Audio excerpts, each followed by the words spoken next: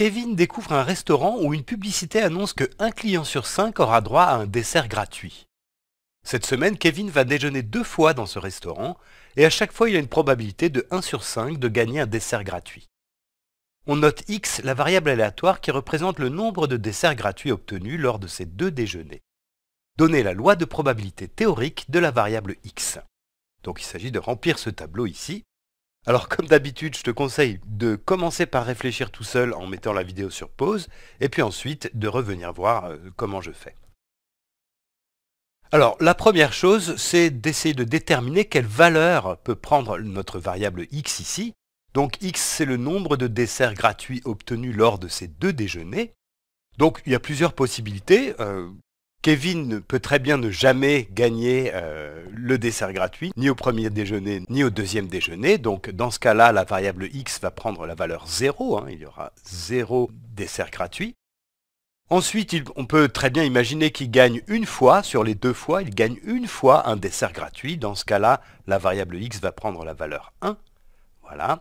Et puis, on peut aussi imaginer, ça serait bien pour lui, qu'il gagne à chaque fois, à chaque déjeuner, il gagne un dessert gratuit.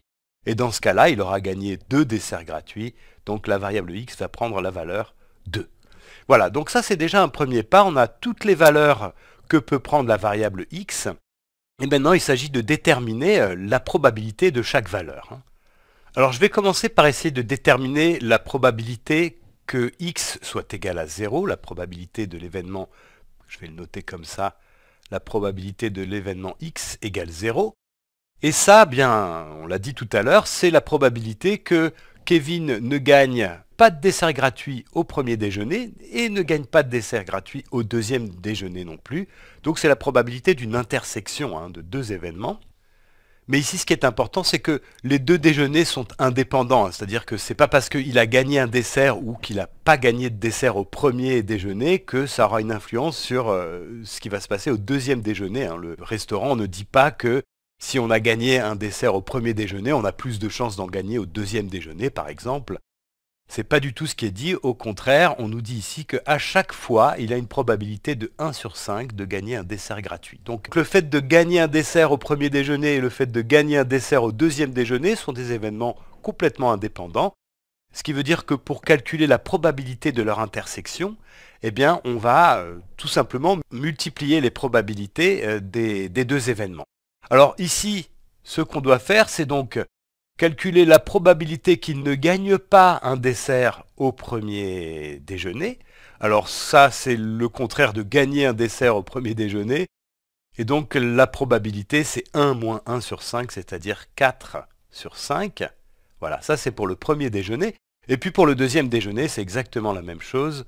Donc on a aussi 4 sur 5. Et donc la probabilité que x soit égal à 0, c'est 4 sur 5 fois 4 sur 5, ce qui est égal à 16 sur 25. Voilà, donc ça je le mets ici. 16 sur 25, 16 25e. Maintenant, on va calculer la probabilité que la variable x soit égale à 1. Alors ça, c'est la probabilité qu'il ait gagné un dessert sur les deux repas. Donc il peut avoir gagné un dessert au premier repas ou un dessert au deuxième repas.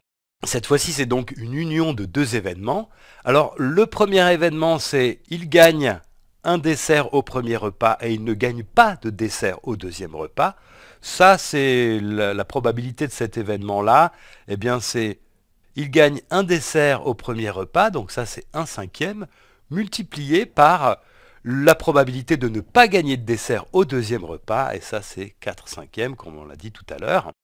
Voilà, ça c'est donc euh, gagner un dessert au premier repas et ne pas en gagner au deuxième. Maintenant, il y a une autre possibilité qui est de ne pas gagner de dessert au premier repas et d'en gagner au contraire un au deuxième repas. Alors, il faut donc ajouter la probabilité de cet événement-là. Et donc ici, Kevin ne gagne pas de dessert au premier repas, ça c'est une probabilité de 4 cinquièmes. Et puis on multiplie ça par la probabilité de gagner un dessert au deuxième repas qui est 1 cinquième. Voilà, alors ça, ça nous donne, on va faire le calcul, 4 cinquièmes ici, 4, 5, 4 j'ai dit 4 cinquièmes, mais c'est 4 25e, plus 4 25e, Et ça, ça donne donc 8 25e. Donc ici, la probabilité que x soit égal à 1, c'est 8 25e. Enfin, il faut calculer la probabilité que x soit égal à 2. Alors ça, on peut le faire de deux manières. Hein. On pourrait très bien calculer la probabilité de cet événement en disant que c'est le contraire d'obtenir 0 ou 1. Donc en faisant 1 moins 16 25e moins 8 25e, ça serait une possibilité. Mais dans ce cas, je vais plutôt calculer directement cette probabilité en raisonnant comme je l'ai fait ici. De quelle manière Kevin peut gagner deux desserts gratuits Eh bien, il faut qu'il ait gagné un dessert gratuit au premier déjeuner, ça c'est une probabilité de 1 cinquième, et puis aussi un dessert gratuit au deuxième déjeuner, donc la probabilité de x égale 2, eh bien c'est 1 cinquième fois 1 cinquième, c'est-à-dire 1 25e. Voilà, donc ici c'est 1 sur 25. Et tu vois, dans ce cas-là, je préfère faire comme ça parce que ça va me permettre de voir, de faire une petite vérification pour voir si je ne me suis pas trompé quelque part. Puisque si j'additionne ces trois probabilités, eh bien, je dois trouver 1. Et là, c'est effectivement le cas.